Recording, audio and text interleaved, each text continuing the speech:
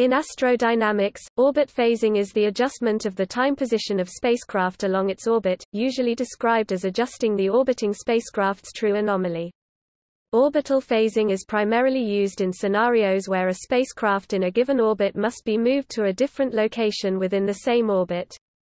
The change in position within the orbit is usually defined as the phase angle, phi, and is the change in true anomaly required between the spacecraft's current position to the final position. The phase angle can be converted in terms of time using Kepler's equation t equals t 1 2 pi e minus e 1 sin E. Display style T equals frac T underscore 1 2 pi E underscore 1 sin E. E equals 2 arctan 1 minus E 1 1 plus E 1 tan phi 2 Display style e equals two arctan sqrt frac one e underscore one one plus e underscore one tan frac phi two, where t is defined as time elapsed to cover phase angle in original orbit. T1 is defined as period of original orbit. E is defined as change of eccentric anomaly between spacecraft and final position. E1 is defined as orbital eccentricity of original orbit. Phi is defined as change in true anomaly between spacecraft and final position this time derived from the phase angle is the required time the spacecraft must gain or lose to be located at the final position within the orbit. To gain or lose this time, the spacecraft must be subjected to a simple two-impulse Hohmann transfer which takes the spacecraft away from, and then back to, its original orbit. The first impulse to change the spacecraft's orbit is performed at a specific point in the original orbit point of impulse, POI, usually performed in the original orbit's periapsis or apoapsis. The impulse creates a new orbit called the phasing orbit and is larger or smaller than the original orbit resulting in a different period time than the original orbit. The difference in period time between the original and phasing orbits will be equal to the time converted from the phase angle. Once one period of the phasing orbit is complete, the spacecraft will return to the POI and the spacecraft will once again be subjected to a second impulse, equal and opposite to the first impulse, to return it to the original orbit. When complete, the spacecraft will be in the targeted final position within the original orbit. To find some of the phasing orbital parameters, first one must find the required period time of the phasing orbit using the following equation.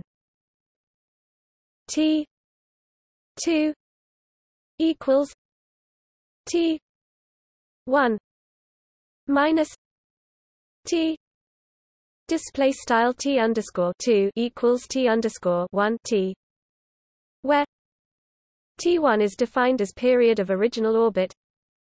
T2 is defined as period of phasing orbit T is defined as time elapsed to cover phase angle in original orbitons phasing orbit period is determined. The phasing orbit semi-major axis can be derived from the period formula a 2 equals mu T 2 2 pi 2 3 display style underscore two equals frac sqrt mu t underscore two two pi caret frac two three, where a2 is defined as semi-major axis of phasing orbit. T2 is defined as period of phasing orbit. Mu is defined as standard gravitational parameter from the semi-major axis. The phase orbit apogee and perigee can be calculated. 2 2 equals R A plus R P. Display style 2a underscore 2 equals r underscore a plus r underscore p where a2 is defined as semi-major axis of phasing orbit. Ra is defined as apogee of phasing orbit RP is defined as perigee of phasing orbit finally. The phasing orbit's angular momentum can be found from the equation H 2 equals 2 mu R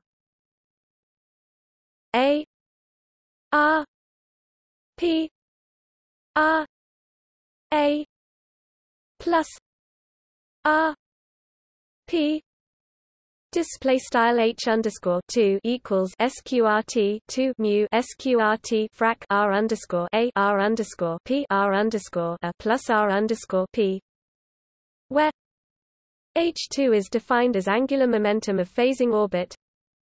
Ra is defined as apogee of phasing orbit. Rp is defined as perigee of phasing orbit. Mu is defined as standard gravitational parameter to find the impulse required to change the spacecraft from its original orbit to the phasing orbit. The change of spacecraft velocity, increment v, at poi must be calculated from the angular momentum formula delta v equals v 2 minus v 1 equals h 2 r minus h 1 r Display style delta five equals v underscore two v underscore one equals frac h underscore two r frac h underscore one r, where increment v is change in velocity between phasing and original orbits at poi. v1 is defined as the spacecraft velocity at poi in original orbit, V2 is defined as the spacecraft velocity at poi in phasing orbit. R is defined as radius of spacecraft from the orbit's focal point to poi. H1 is defined as angular momentum of original orbit. H2 is defined as angular momentum of phasing orbit. Remember that this change in velocity, increment v, is only the amount required to change the spacecraft from its original orbit to the phasing orbit. A second change in velocity equal to the magnitude but opposite in direction of the first must be done after the spacecraft travels one phase orbit period to return the spacecraft from the phasing orbit to the original orbit. Total change of velocity required for the phasing maneuver is equal to 2 times increment v. Orbit phasing can also be referenced as co-orbital rendezvous like a successful approach to a space station in a docking maneuver.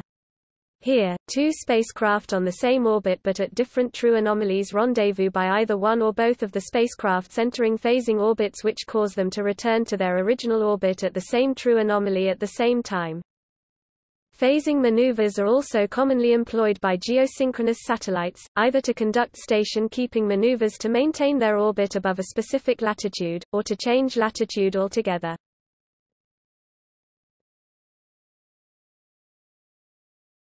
Topic.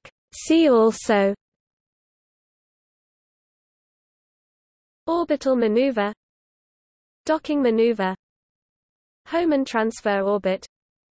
Clohessy-Wiltshire equations for co-orbit analysis. Space rendezvous